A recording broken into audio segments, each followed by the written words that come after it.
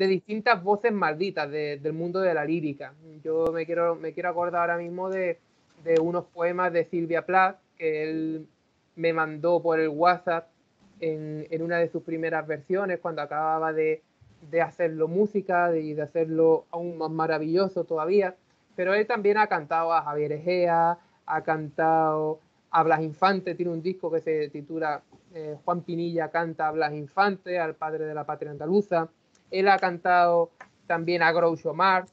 Y, todo esto lo ha llevado por toda Andalucía, por, toda España, pero también por, todo el planeta. Y, Juan Pinilla en este sentido se puede decir que, ha sido mm, uno de los grandes eh, afortunados y de los grandes héroes que se han llevado o que se han hecho con la lámpara minera en el año 2007, que, que para, los que conozcan el mundo del flamenco, pues uno de los, de los galardones más señeros que hay. Y, Juan Pinilla también ha sido, ha sido finalista, ha sido eh, uno de los, de los candidatos a los Grammy Latinos. Eso fue en el año 2014. Durante tantísimos años, como, como digo, pues él ha venido investigando, él ha venido creando y, sigue haciéndolo. Y si no ha salido su último disco, ha sido por las circunstancias sobrevenidas de la pandemia. Su próximo disco, que saldrá, pues ya imagino que en 2021, se titula Humana Raíz. Y, yo, que he tenido ocasión de, escuchar algunas de las piezas que lo van a componer, pues puedo decir que, va a ser un disco, un disco magistral que quizá marque un punto de inflexión en su, en su, en su extensa obra. Además, como decía Juan Pinilla, canta, pero Juan Pinilla también explica, estudia y divulga, y en ese sentido ha, sido, eh, ha sido muy conocido por sus conferencias, como esta que hoy nos va a brindar. Y entre ellas, pues yo destacaría la de Flamencos en la Guerra Civil o otra también muy laureada, la de Teoría y Praxis del Budialenismo, nociones básicas y estado de la cuestión. Esta ha sido francamente celebrada porque además hizo una edición cocida a mano, en, que era una edición limitada, que muy pocas personas hemos tenido la fortuna de, tener en nuestras manos. Y, bueno, pues quiero simplemente quiero eh, reseñarla como una de, de las grandes joyas de, la corona. Y Juan Pinilla no solo ha cantado eh, él solo, aunque por supuesto el flamenco suele ser un arte más colectivo que individual, pero mm, quiero destacar en este momento que ha hecho colaboraciones con, con artistas muy variados, desde, desde Amparanoia hasta Lagartija Nick. Quiero recordar ese, eh, esa magnífica, creo que era una media granaína, ¿no, Juan? La que cantaba de. Efectivamente. Eh, con Lagartija Nick. Era una media granaína preciosa, fabulosa. Y, y, después también ha hecho colaboraciones con Calle 13, que, que también son bastante, bastante expresivas de, del carácter multifacético y desbordante que, define a Juan Pinilla. Pero bien, si, si esta es la... No me quiero extender con la presentación porque Juan suele hacer una, unas conferencias magistrales, como tendré ocasión de, comprobar enseguida. Pero mm, sí que quiero mm, confesar que, para mí es muy, eh, es muy especial que podamos estar con él y que, y que pueda acompañarnos porque, bueno, pues yo tengo, le tengo muchísimo aprecio, tengo una amistad con él desde, desde el año 2013. No sé si os recuerda cómo nos conocimos, pero fue a finales de 2013 porque a él se le, se le invitó para que presentara eh, mi libro, Soberanía en la Andalucía del siglo XIX, mi, mi, primera monografía sobre la constitución de Antequera, y, a raíz de eso entablamos una amistad magnífica, mm, atravesada con distintos, con episodios de todo tipo. Ha habido mucho, ha mucho albaicín de por medio, ha habido mucho charaguinillo, ha habido mucho hasta estadios de fútbol de por medio, lo cual es curioso. Y ahí me, me, eh, me, da un poco, me da un poco de pena porque después he pensado cuando fue la última vez que lo vi en persona. Y fue hace ya perfectamente dos o tres años en Madrid, en el café, en el café Gijón, porque, bueno, pues, no porque seamos dos artistas que se reúnen ni nada, a pesar de, del foro tan, tan especial, sino que era porque yo estaba haciendo la tesis doctoral y claro, como saben ustedes, pues está cerca de la Biblioteca Nacional. Y, y allí nos reunimos y bueno, pues almorzamos y, y charlamos. No sé quién pagó la factura, seguramente la pagará yo, porque Tú. me acostumbra a, dejar la factura sin pagar. Y, Qué cabrón. Y bueno, pues no nos hemos visto, no nos hemos visto desde entonces. Pero bueno, este ha sido un año complicado. A mí me da, no me da, no me da rabia, no me da pena, pero, pero sí que es verdad que, me da mucho coraje que no podamos vernos ahora en persona y abrazarnos y después pues irnos a, tomar una copa y a, y a, conversar sobre, sobre la conferencia, porque es que ha, pasado mucho tiempo desde entonces. Y además este último año ha sido un año duro, lo ha sido para mucha gente, lo ha sido para todo el mundo como consecuencia de la pandemia, de, la crisis, de, todo esto que, nos está pasando, ¿no? Pero, pero yo creo que, que para Juan y, bueno, para la comunidad de amigos en, la que nosotros nos insertamos, pues ha sido quizá especialmente difícil porque ha sido un año en el que ha desaparecido el, patriarca del Charabinillo, que era uno de nuestros de nuestros eh, lugares de encuentro, ha muerto Javier Alcaraz, un recuerdo para él y para su familia. Ha muerto el Emilio, que, además de, un gran batallador y de un referente moral, eh, era pariente de Juan, por lo tanto hemos tenido esa pérdida. Y además sido un año en el que se ha puesto malo el propio Pepe Morales, se ha puesto malo el propio Juan Pinilla. Y, bueno, ya va siendo hora de, que y, de que, y de que nos abracemos. Y no quiero, no quiero restarle más tiempo a la conferencia, Únicamente quería decir cómo, cómo nacieron estos placeres prohibidos, como diría Luis Cernuda, y le quiero agradecer a Juan que, nos haya reservado un espacio que tiene una agenda bastante, bastante complicada. Y, bueno, y le cedo la palabra a Juan, le doy un abrazo enorme y espero que, que ustedes disfruten. Un abrazo, Juan, tuya la Muchísimas gracias. Muchas gracias, Rubén, por, esas sentidas palabras y muchas gracias por em, invitarme a, bueno, pues en definitiva, a dilucidar sobre una materia que a mí me apasiona desde, que soy prácticamente un niño y en la soledad de mi infancia y posteriormente de mi adolescencia em, suena una música en mi casa, en mi ambiente, en mi familia trabajadora de, la Vega de Granada, de un pueblo que se llama Huetortájar, una familia que eh, se ve vilimpediada como tantas familias por, por, la guerra civil, por el exilio, por la emigración posteriormente y por lo tanto em, lo que vamos a hablar tiene mucho que ver conmigo, ya que eh, si bien en mis inicios jamás pensé ser cantador flamenco, no tenía ni, sé si tengo todavía la vanidad suficiente como para eh, se requieren estas cuestiones. Eh, fue más bien un proceso de, amigos que me apuntan de pronto, porque soy el que canta todas las reuniones, me, apuntan, a algunos concursos y voy ganando concursos. Es la manera de pagarme mis estudios universitarios y posteriormente, eh, bueno, pues sí surgen las giras por Japón, por Estados Unidos. Y yo que estudié mi primera carrera, traducción e interpretación, porque me gustaba viajar. Resulta que fue con el flamenco, con esta música maravillosa que nace en Andalucía, como veremos ahora, como consecuencia de todo ese crisol y, amalgama de, pueblos, de cultura, religiones, muy importante también el peso de la religión, y sobre todo de acentos, pueblos, culturas que han eh, acrisolado el sur de la península ibérica, los territorios del Al-Ándalus, a lo largo de, los siglos, ¿verdad?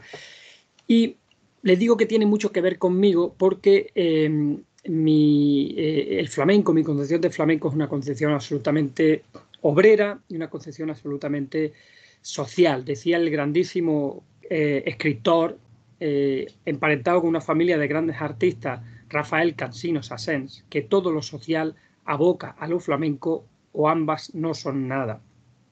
Y yo me nutro dentro de esas, de esas teorías. También como Chekhov pienso que la originalidad de los artistas no está tan solo en su arte, sino en cómo piensan.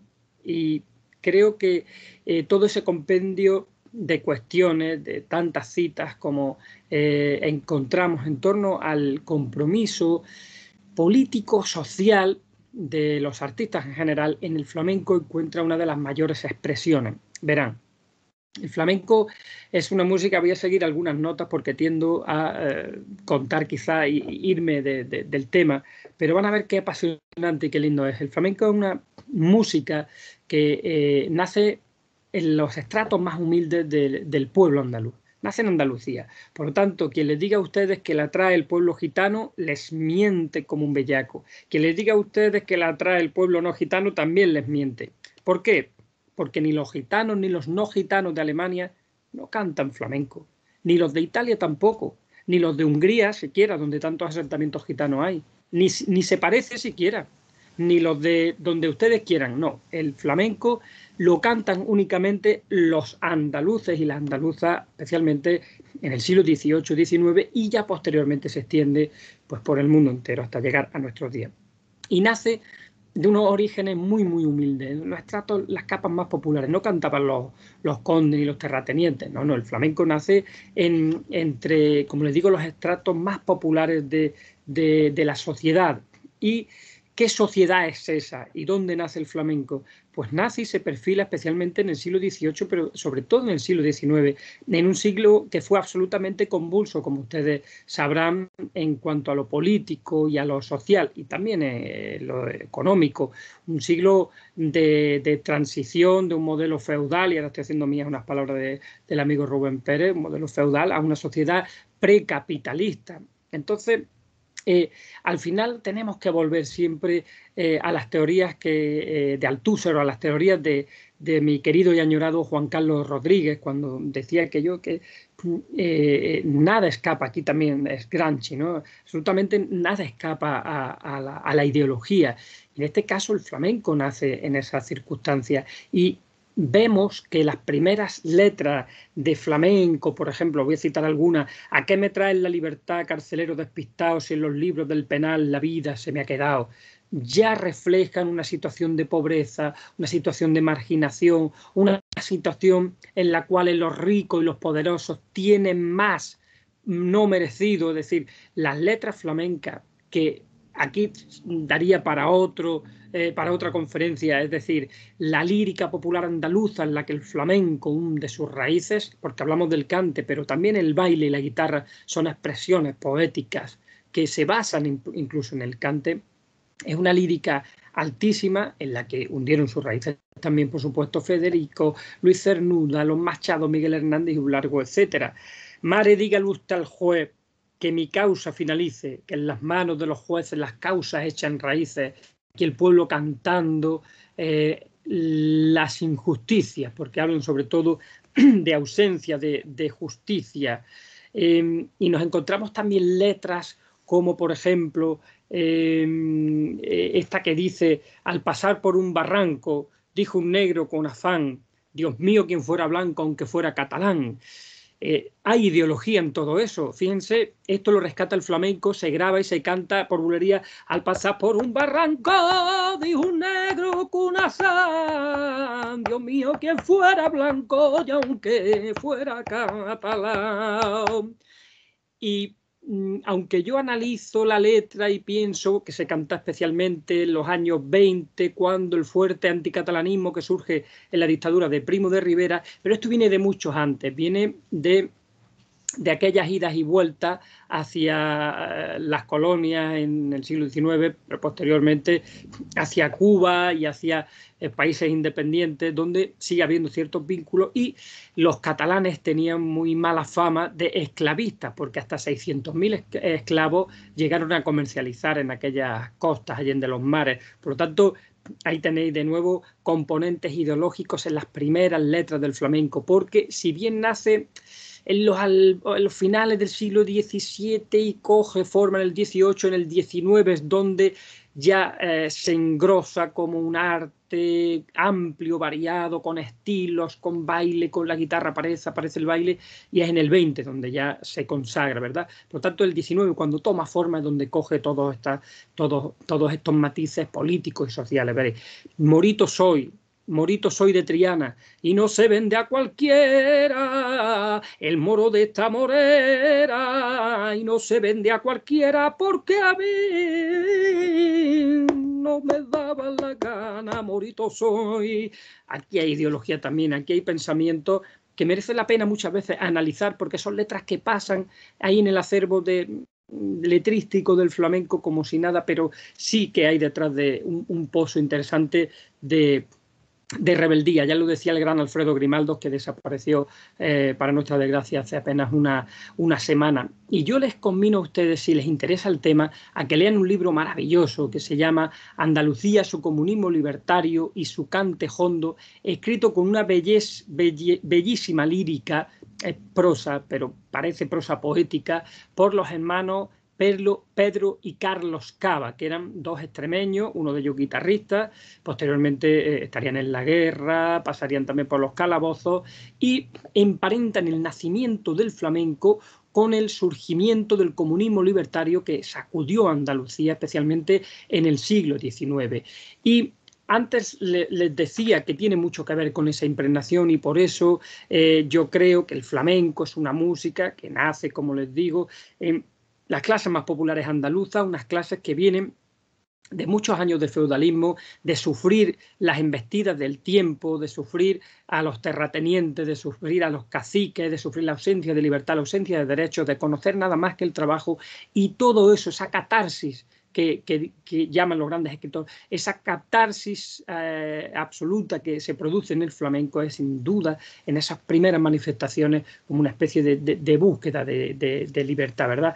Pero eh, a lo largo del siglo XIX, como les digo, eh, y aunque trataremos algunos temas posteriormente, como el ateísmo y, la religiosidad, que me ha parecido muy interesante, a lo largo del siglo XIX sobre todo toman forma la música proletaria que yo llamo dentro del flamenco, es decir, los cantes de los trabajadores que son sobre los que se configura el cante flamenco, desde los cantes de la gente del campo, Em, eh, pregones del campo, eh, cantes por temporeras, cantes de la trilla, son cantes ya flamencos, vienen de la, de folclore, pero ya se hacen flamenco. Los cantes de los mineros, los cantes de las mujeres que vendían habas en Málaga, conocidos como averas, los cantes de los marineros, cantes de la fragua, cantes de herreros, cantes de fruteros, prácticamente todos los gremios de trabajadoras y trabajadores del siglo XIX encuentran su acuño musical en los cantes del eh, acervo flamenco. Y sobre esos cantes, especialmente los mineros y los de fragua, que son los más potentes, sobre esos cantes se asienta gran parte del edificio musical del flamenco, del que luego dirían músicos como Stravinsky o músicos como Manuel de Falla, que es una de las músicas, estoy parafraseando, de origen popular más ricas y variadas y nobles del mundo entero, de cuantas se haya estudiado en el mundo entero. Eso lo hicieron o lo crearon personas que no sabían leer ni escribir, mujeres y hombres que no habían pasado, no se habían alfabetizado, pero que tenían aquello que decía Federico García Lorca, cultura en la sangre. En ese sentido, el flamenco nace de la música proletaria andaluza y después, como les digo, a lo largo del siglo, del siglo XIX eh, encontramos la, mayoría, la mayor parte de los episodios que se dan eh, cita en, este siglo, desde, eh, bueno, desde, por ponerles algún ejemplo, la invasión napoleónica es uno de los temas que más se trata y más se canta en, el, en el mundo del flamenco, pero ya no solo la invasión napoleónica, nos podemos ir a esos bandoleros, a esos guerrilleros, eh, de la Sierra, como José María el Tempranillo, como digo, Corrientes, que eran cantaores también, y que fueron una especie de héroes del pueblo. Es decir, veréis, vemos a través de las letras del flamenco cómo los cantaores y las cantadoras de la época, especialmente, que son los que nos dejan testimonio, lógicamente, ni el baile ni la guitarra hay nada escrito ni documentado, cómo esos cantaores y, y esas cantadoras tienen ya una forma de pensar, y es el eco del pueblo y se decantan por, por los liberales en contra del absolutismo en la mayoría de, los casos. Veremos algunas muy pocas letras que en definitiva también se escribían o la escribían los troveros y poetas populares de la época, pero la mayoría de las que nos encontramos y que han trascendido y que todavía se siguen cantando hoy eh, tienen que ver con, eh, bueno, pues con esa búsqueda de la libertad y con ese estar cerca de, los liberales. Por ejemplo, sobre Napoleón hay muchos cantes en Cádiz, porque saben ustedes que fue en Cádiz donde no pudieron pasar los franceses. Hay cantes por seguirillas y cantes especialmente por alegría. El gran Pepe Botella, puesto en un árbol, ha bailado esta noche un buen fandango. Un baluarte invencible en la isla de León porque con los gaditanos, ay, no pudo Napoleón, Napoleón Bonaparte, con sus escortas, y no llegaron al barrio, ay, de la victoria. Eso se sigue cantando todavía hoy. Bien, hablamos de, eh, eh, de bueno, de la invasión napoleónica, pero también los carlistas y los isabelinos, esos encuentros, desencuentros que hubo. Duro tiene el corazón don Carlos viejo cruel y solo seis años cuenta niña inocente Isabel. El día 3 de diciembre a, buen a un buen pueblo federal le hicieron traición y muerte los de la Unión Liberal. Esto se cantaba ya en el flamenco en aquella época. Los carlistas en el monte van diciendo, viva Dios, vamos robando y matando, que esta es nuestra religión.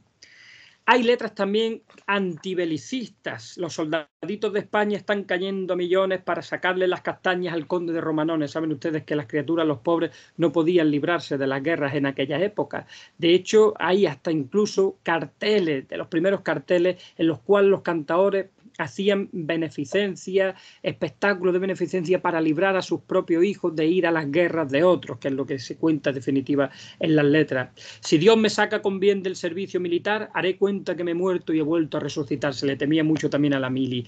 La primera guerra de África, al pie de Sierra Bullones, una morita decía, ya viene la flor de España, ya, ya dio fin la, la, morería. Veréis que esta guerra, primera guerra de África sí es una guerra de mucho orgullo, porque se empieza ganando posteriormente la segunda guerra de África, ya a principios del siglo XX, veréis que las letras son totalmente distintas. De las costillas de un moro me atrevo a formar un puente para que pase la España y su ejército valiente. La movilización de hombres que, con motivo de la, de la guerra de África en 1869, dio lugar a que se cantara en Sevilla lo siguiente Hacerlos de papel blanco, muchachas, si queréis novio, que los mocitos de ahora se los llevan para el moro. Bien, las minas, las revueltas mineras, eh, eh, esos eh, héroes del pueblo como eran Riego, por ejemplo, especialmente Riego, salgan los santitos de San Juan de Dios, papel y limona, palentierro o de Riego que va de por Dios, ir de por Dios ir muerto, ir de cuerpo presente. El día que en capilla metieron a Riego, los suspiritos que daban sus tropas llegaron hasta el cielo. El día que mataron a Torrijos, también Torrijos aparece, el valiente se amotinó la gente y los cielos se nublaron, y a Torrijos le tiraron camisas embreadas por ver si se entregaba y Torrijos nos entregó. No me, no me entrego a vosotros, será bajeza mía, yo perderé mi vida, pero mi honra y mi honor no. También se habla de la Primera República, Toita sus legiones, viva Prin y el gran topete, toita sus legiones, viva Emilio Castelar, que es contrario a los Borbones. Y se ensalza a personalidades eh, que, bueno, un pueblo prácticamente ágrafo, sin embargo, tiene el oído suficiente como para saber quién les es más agradable. La adhesión, además, a esa primera república llegaría mucho más tarde, llegarían con sus letras hasta mucho más tarde. La republicana es la luna, republicano es el sol, republicana es la tierra, republicano soy yo. O esta, por ejemplo, que, se, que la recoge Ramón Sender y que dice, ¿Quieres, Marín, que yo cante al clero y la monarquía? No comprendes, ignorante, que esa opinión no es la mía, que vaya el nuncio y las cante. Es decir, eh, nos encontramos también, por supuesto, letras ensalzando a Mariana Pineda, a los bandoleros que les decía antes, eh, por ejemplo, Diego Corriente yo soy, aquel que a nadie temía, aquel que en Andalucía por los caminos andaba, aquel que a los ricos robaba y a los pobres socorría. Por los arcones del viso siete, bandoleros bajan, Tragabuche, Juan Repiso, Satanás y el Malafacha. Las injusticias que se cometían, eh, especialmente con la gente más pobre y hay un, apartado aquí que yo dedico tanto a Silverio, grandes cantadores, como al Pillayo, míticos cantadores de Málaga uno y de Sevilla otro, que ambos se van voluntarios, uno a la guerra de Cuba, miento, el Pillayo va por las levas de preso porque estaba preso a la guerra de Cuba. Luego en una entrevista en 1910, en 1919, perdón, se considera republicano de los FETEM. Y Silverio Franconetti, que fue a la guerra de Uruguay y fue además eh, como voluntario y allí cosechó una pequeña fortuna que luego la invirtió en crear uno de los grandes y primeros cafés cantantes en Sevilla. Por lo tanto, muy por encima hemos visto como cuando toma forma el flamenco, muy por encima, porque esto lógicamente es mucho más largo, las cantaoras y los cantaores hacen especialmente letras reivindicativas. Por supuesto que era la época mm, de los señoritos y por supuesto, y aquí hay ideología también, y me baso de nuevo en las teorías de Juan Carlos Rodríguez cuando habla de la poesía burguesa, también existe un cante que quiere agradar el oído de los señoritos y por lo tanto cogen, bueno, pues eh, letras que tienen más que ver con lo religioso, que tienen más que ver con eh, el ideal de belleza de la época, mucho más demagógica y en contraposición a esas que llegan, pero no tanto como estas, como la fuerza que nos llegan estas hasta nuestros días, encontramos una posición clara y verdadera ideológica de un pueblo en conjunto, que es el que canta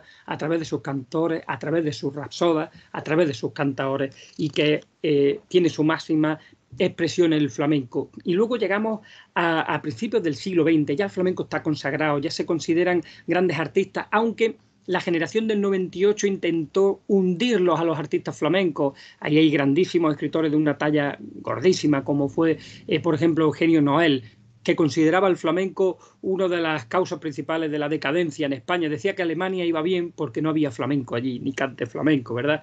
Eh, también es verdad que ellos emplean el flamenquismo con la fiesta de los toros a la cual consideran una salvajada ya en aquella época.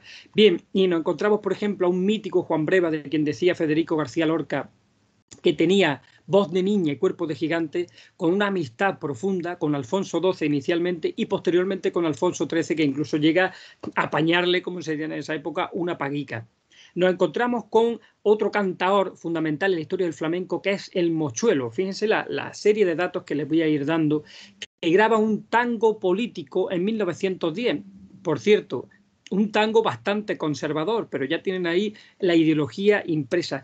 Todo esto, amigas y amigos que nos estáis escuchando, todo esto porque se ha dicho durante mucho tiempo que el flamenco y los flamencos como que es aséptico del punto de vista político, como que son del SOS que más calienta. Entonces, todos estos datos vienen un poco a refutar esa teoría. Yo demuestro, intento demostrar, lo mismo que Gerard Steingel, lo mismo que el desaparecido Alfredo Grimaldo, lo mismo que José Luis Ortiz Nuevo, Cristina Cruces, Juan Vergillo, Juan José Telle y un largo etcétera de eh, autores demostrar que ha habido ideología y que hay ideología dentro del propio cante flamenco. Distinto sería hablar mm, de partidismo político eh, o de politicismo, pero ideología sí que la hay, nada escapa a la ideología. En fin, ese mochuelo grabando en 1910 el, tango político o La rubia de Valencia, que reclama ya una república en 1910 también. Luego, como les digo, ya en el siglo XX el desastre de la guerra de Marruecos ya no es lo mismo. Quien quiera tener marido, vaya a la guerra y lo gane, como yo he ganado el mío. Esto es uno de los cantes que hace la niña de la niña de, los peines. Lo sacan del carabozo, lo llevan en medio mar, de allí lo llevan al moro y en el moro morirá. Ya veis que las letras son mucho más eh, dolías. Y yo he sentido una voz dolorosa y allá por tierras africanas cayó un soldado en el suelo diciendo, papá y mamá, yo en esta tierra me muero. Este es el famoso soldado en Melilla que cantó niño de la huerta por Milonga. A mí me habían sorteado con el hijo de un millonario y a los dos nos había tocado Melilla y como el otro tenía dinero se había quedado a servir en Sevilla, qué desgraciado el hijo del obrero. Fijaros qué, qué, fuerza, qué expresividad, qué, eh, qué capacidad de análisis político hay en esta, en esta letra, dicho de una manera poética. Aunque a Melilla me lleven a pelear con el moro, es trabajito perdido, porque me vuelvo a venir por el camino que, que el camino que me he ido. En fin, Em, surgen también los primeros, las primeras asociaciones de flamenco y hay una mujer guitarrista, mujer guitarrista en un mundo tan machista como era el flamenco en aquella época. Sin embargo, las mujeres flamencas eran absolutamente libres ¿eh? en aquella época, enfrentándose, por supuesto, a su tiempo. Adela Cubas es la que lidera esas primeras asociaciones. Ya en 1922, Federico García Lorca, Manuel de Falla intentan rescatar, porque era la época de la ópera flamenca, se le había dado mucho de nuevo la ideología es decir, el gusto imperante de las clases que pagan, de las clases pudientes, las que acuden a los teatros, es lo que hace que de alguna manera pues se pase a unas letras y a unos estilos eh, que musicalmente también tenían mucho más que ver con ese gusto ramplón y simplón de eh, la burguesía de los señoricos de la época. Y en 1922, aquí en Granada, de donde les estoy hablando, en la ciudad de la Alhambra, en el mismo patio de los aljibes de la Alhambra, los días 13 y 14 de junio de 1922 organizan Federico, Manuel de Falla, Juan Ramón Jiménez, gran parte de la orbe intelectual de la generación del 27, en contraposición a la del 98 que odió el flamenco, se enamoraron profundamente del flamenco, salvo en el 98 los Machado, que fueron unos grandes flamencos. Bien, Primo de Rivera fue bastante flamenco, era de Jerez, era muy aficionado al flamenco, al se le debe la nomenclatura de ópera flamenca, porque pagaba menos el flamenco si se llamaba ópera, la ópera pagaba un 6% de impuesto y el flamenco bastante, bastante más. Y de hecho eh, fue padrino artísticamente hablando de Luis Marevilla y de algunos cantadores. Em, a Primo Rivera se le conoció también una, una amante que era una medio prostituta y artista flamenca, que, de la cual también hacemos referencia en algunas de nuestras investigaciones. Y así llegamos hasta la Segunda República, donde sí que encontramos un absoluto, un absoluto una absoluta perdón, identificación con la causa de la Segunda República, quizá venía arrastrada desde la primera en el mundo del flamenco. Aquí hemos contabilizado más del 95% de los artistas que toman partido por la República. Muchos de ellos, como veréis, de los artistas flamencos me refiero siempre que les hable aquí. Es decir, lo mismo que tomaron a los bandoleros, aquellos que le robaban a los ricos para dárselo a los pueblos, como héroes del pueblo, valga la redundancia, aquí son eh, Galán y García Hernández los que se hacen eh, con, ese mérito, sin lugar a dudas, cuando se sublevan la guarnición de Jaca eh, unos días antes y son aplastados por el gobierno berengués. En Jaca murió el valor y aquellos dos hombres buenos. En Jaca murió el valor, los vimos de padecer por culpa de los asesinos del gobierno de Berenguer. Es uno de los fandangos que se cantaba y se grabaron en la época. En abril se proclamó la República Española, en abril se proclamó la bandera que enarbola por la que el pueblo luchó, tres colores a crisola. Es decir, eh, aquí encontramos ya los cantadores cuando se proclama la República grabando eh, cantes republicanos que encontramos mucho además en aquella, en aquella época. En, en, el cielo manda Dios, en el infierno quien puede, en este maldito mundo el que más dinero tiene, es una letra también de la época. En fin, la Segunda República, como les digo, nos trae también, además, el libro de los hermanos Cava, del que les he hablado antes, Andalucía, su comunismo libertario y su cante hondo, la copla andaluza de Rafael Cansinos Asens, donde analiza la copla andaluza como el cante flamenco, también muy recomendable, y a cantadores y a cantadoras como la mítica niña de los peines, aquella que acuñó el canto de Triana, Triana, qué bonita está Triana, qué bonita está Triana, qué bonita está Triana, cuando le ponen al puente bandera republicana. Después, cuando entró la dictadura, las banderas no eran republicanas, sino banderas gitanas. Hubo mucha censura. La Niña de los Peines grabó varios temas republicanos. Durante la guerra, además, participó con el Socorro Rojo, le pilló en la zona republicana y fue una mujer que se enfrentó a su tiempo y por estar señalada siendo la, más grande cantadora de todos los tiempos, amiga de Federico García Lorca, musa de Julio Romero de Torres, una mujer que es mito, tótem eh, en, absoluto en el mundo flamenco y fue consciente de que ella venía de una familia gitana, pobre. Algunas de sus letras lo dicen. La bandera de mi patria es como el sol de un buen día. Dice, eh, señores, soy española, yo nací en Andalucía, que, es el mundo, que en el mundo es la región que tiene más alegría. Se refería a la bandera tricolor en esa, en esa, en esa época. Em, también nos encontramos ejemplos como el de Manuel Vallejo, que se pasea durante los años de la República en una furgoneta de la CNT y que graba los primeros fandangos republicanos al grito de Viva España después de escuchar el himno y al grito de Viva España canto un fandango gitano y en él llevo puesto el alma como buen republicano. Murió Hernández y Galán por la libertad de España, un minuto de silencio por los que ya en gloria están, suplico en este momento. Manuel Vallejo grabó los primeros fandangos republicanos en, la casa, ahora lo digo, gramófono en Barcelona durante eh, la República.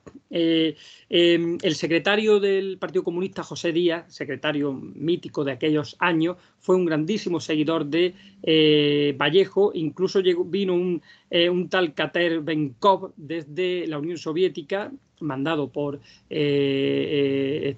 por el gobierno de la época, a establecer relaciones con un incipiente todavía Partido Comunista y lo llevan a escuchar a Manuel, a Manuel Vallejo, una de las grandes anécdotas. También Angelillo eh, sería un cantador absolutamente republicano que, como veréis, después se va eh, al exilio, uno de los grandes nombres del exilio, el cantador Guerrita, Guerrita, confundido a veces con el torero Guerrita, que era un, eh, absolutamente fascista y además reconocido, y que en sus speech de la época ustedes pueden buscarlos en algunos periódicos, él decía que a los, obreros había que explotarlos y que los terratenientes debían conservar sus tierras aunque no las eh, labraran. De matices tricolor, este guerrita. España tiene bandera, amarillo, rojo y lila, colores que son de amor, juntarse a nuestras filas. Dos héroes republicanos en Jaca se rebelaron, que lucharon con afán por salvar a nuestra España, García, Hernández y Galán. También Fanegas, cantador murciano, al igual que Guerrita, grabó varios fandangos republicanos. El día 14 de abril, la fiesta nacional, el día 14 de abril, y vino la revolución, cansado de tanto sufrir, y el pobre pueblo español. Fíjense qué letras más absolutamente políticas. Yo creo que pocas eh, músicas de la época o pocas letras eran tan absolutamente vinculadas desde el punto de vista político a, mm, España, mi patria libre, está poder el mundo entero, fuiste teatro del crimen que paga al usurero, en Jaca mataron a dos hombres por tener su ideal, eran el, el gran capitán Hernández y el gran capitán Galán. O sea, fíjense hasta qué altura em, eh, de implicación política llegan los cantadores. El Chato de las Vendas, que eh, grabó em, varios cantes, grabó varios cantes eh, absolutamente republicanos y uno de ellos hablando de, una España federal. Em, era muy gracioso, entre otras cosas, y fue fusilado posteriormente en la guerra civil por sus causas republicanas. Manolo Fregenal, que al igual que el Carbonerillo o el Niño del Museo eran cantadores republicanos. Curro Casamía, el padre de la niña de la Puebla, que compone unos campanilleros libertarios, ahora que estamos en tiempo de, en tiempos de Navidad conviene eh, cantarlo. Por los campos de mi Andalucía, los campanilleros de la libertad van luchando, gritando y cantando los campanilleros de la libertad. Y en la cárcel están sin comida anarquistas que un día la España esclava querían libertar. Eh, díganme ustedes si no hay compromiso político y si los flamencos eran del sol que más calienta, como dicen algunos autores que por supuesto tienen su propia ideología y que dicen esto porque les interesa decirlo.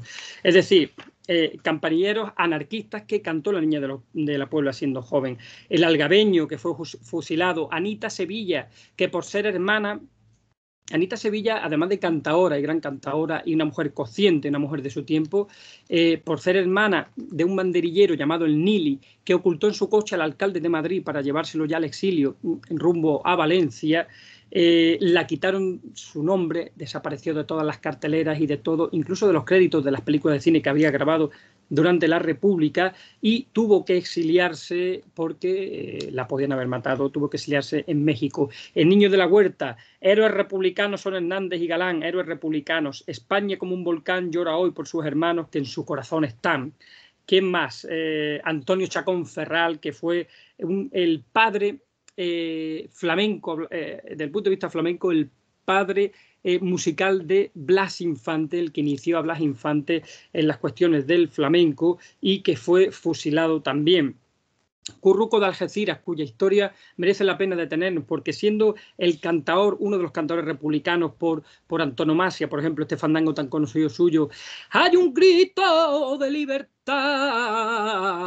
Dios Galán y García Hernández, un grito de libertad. Temblaron el trono y la corona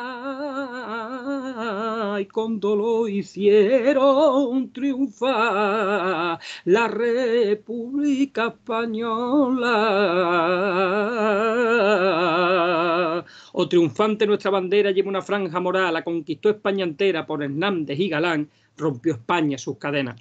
Pues este hombre, el curruco de Algeciras, fue apresado cuando entran las tropas nacionales por el norte de, África, lo pillan en Algeciras, gracias a un amigo suyo, eh, médico, mm, falangista, le conmuta la pena de muerte y fíjense lo que son las cosas, es obligado a combatir con los nacionales y muere por fuego, por fuego del ejército que cantaba sus coplas en la batalla del Ebro y allí está enterrado. Niño de Cazalla, el cojo de Málaga, y veremos muchísimos casos que incluso en la, guerra civil el propio Tomás de Antequera va a cantarle, o Lola Cabello van a cantarle a los republicanos en, las batallas en el frente de Teruel, en, el Ebro, Angelillo.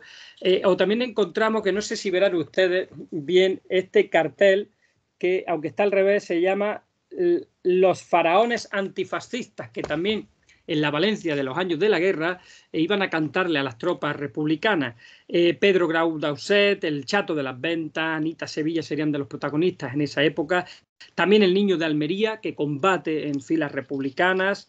O don Juan Santa Cruz, un ingeniero un poderosísimo ingeniero en Granada, casado con una gitana del Sacromonte, de la familia de los Amaya, que también es fusilado por sus ideas republicanas y que en Granada construyó ni más ni menos que algunos de los pantanos que todavía siguen hoy, o la carretera a la sierra.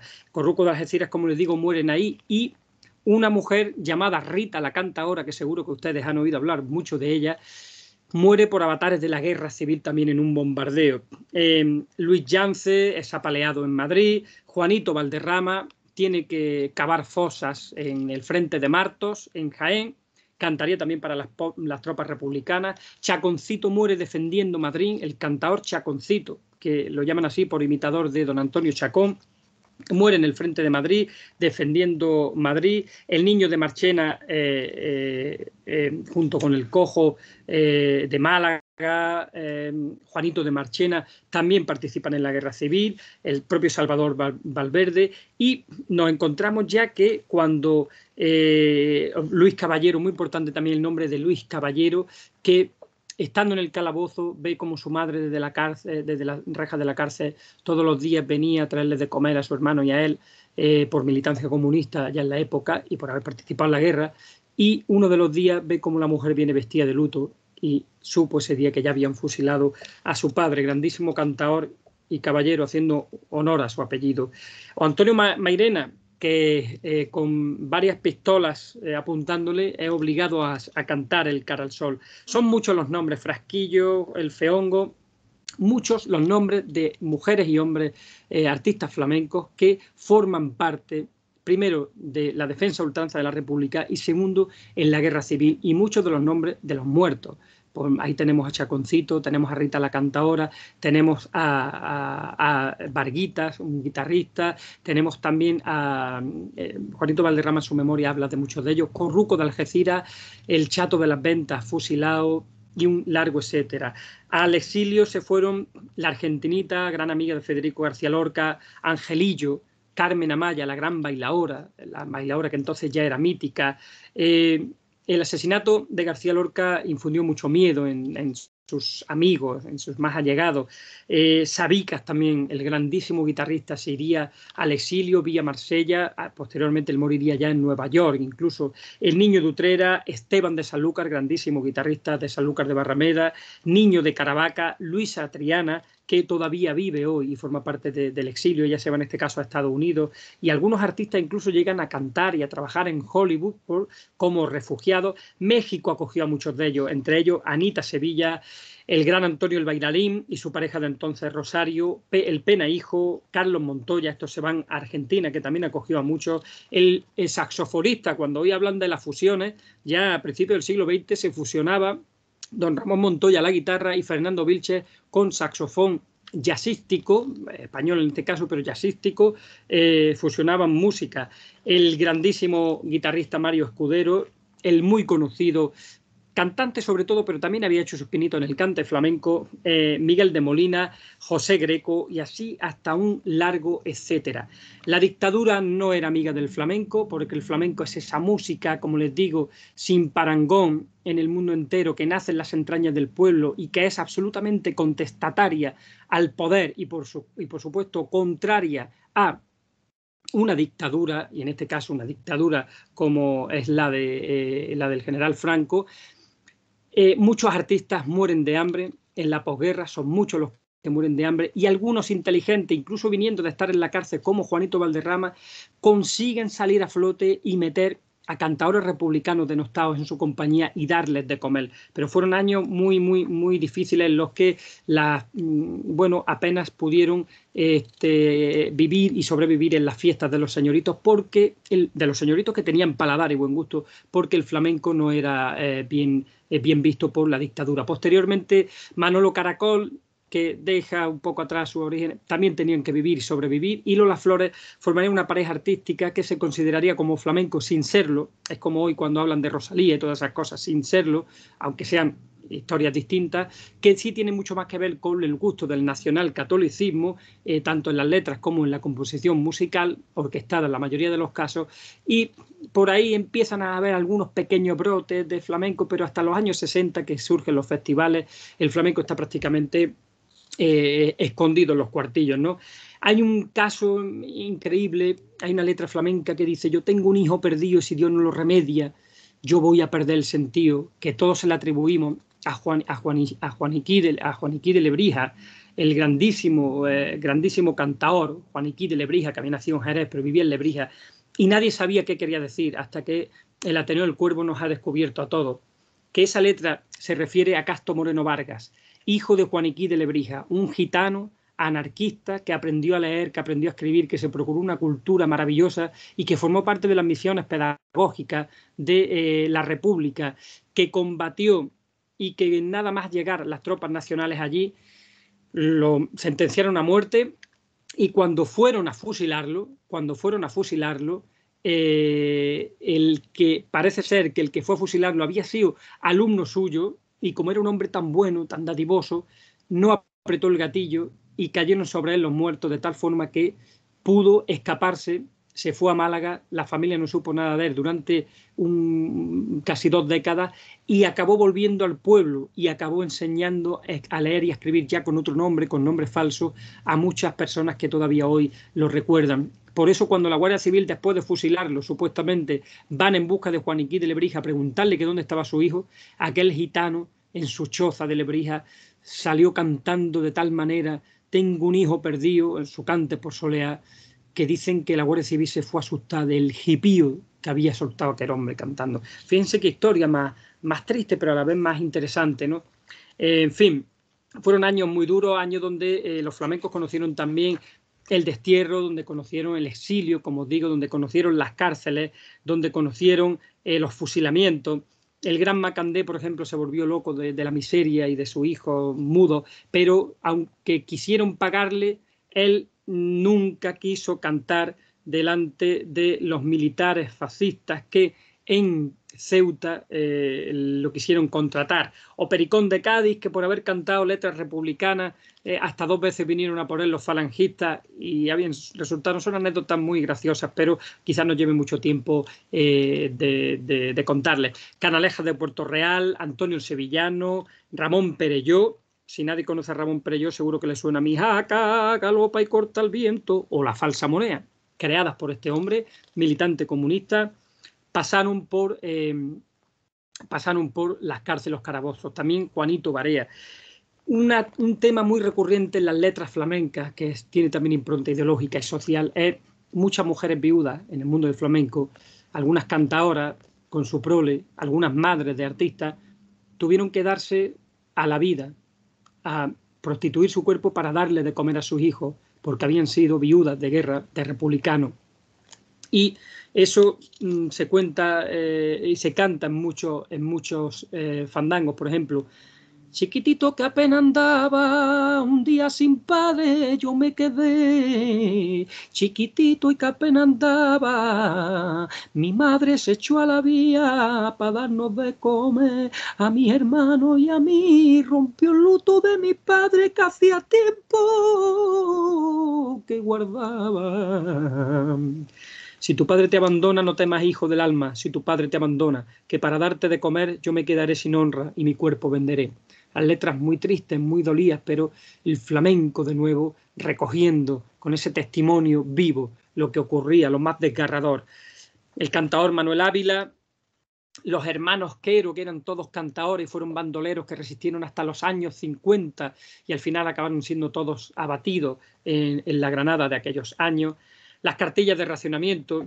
Aquí una anécdota que sí es graciosa, se la voy a contar. Dicen que pasaron mucha hambre Manolo Caracol y su padre, después de haber ganado el concurso en 1922 en, el Madrid de aquella época. Y el padre de Manolo Caracol se dio cuenta que en, las colas de los racionamientos, si decía España una grande libre, te daban más, más, un poquito de más ración. Entonces el hombre llegó, se sentó allí y cuando le tocó su turno se puso delante de él y dijo, usted España 1, España 2 y España 3, soltó Gitano, pobrecito. Claro, no le dieron nada, lo echaron de allí casi a palo.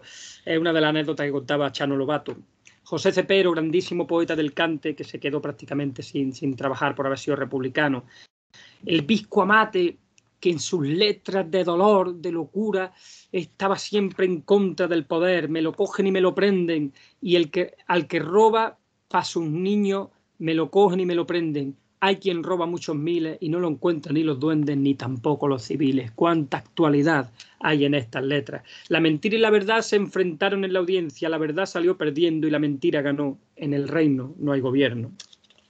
En fin, llegamos a los años 50 y bueno, aquí tenemos una anécdota también muy curiosa y es que Juanito Valderrama, cuando viaja a los territorios internacionales que eran entonces Orán, ¿verdad? Y especialmente a Tánger, donde tantos republicanos aguardaban una intervención de los Estados Unidos para acabar con la, ¿verdad? Para acabar con la dictadura de Franco, que jamás llegó una intervención conjunta.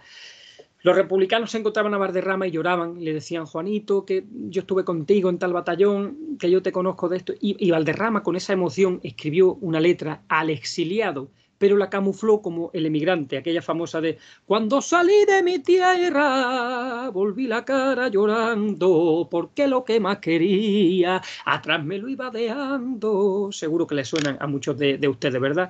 Bien, tanta fama alcanzó Juanito Valderrama con, con estas letras que el propio Franco, el marqués de Villaverde en aquella época, lo invita a, entre Franco a una cena familiar para que canten Carmen Sevilla, como no, Luis Mariano, como no, otro gran artista, ambos, ¿verdad?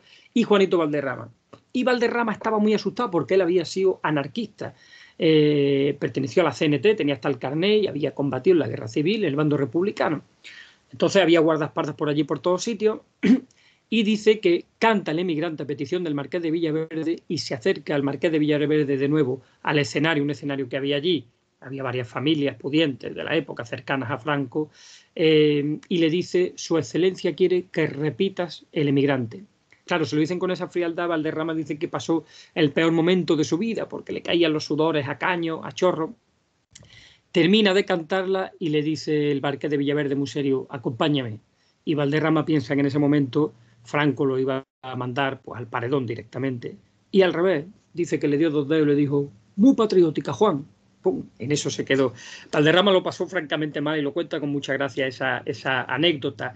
Bien, eh, surgen las primeras peñas flamencas de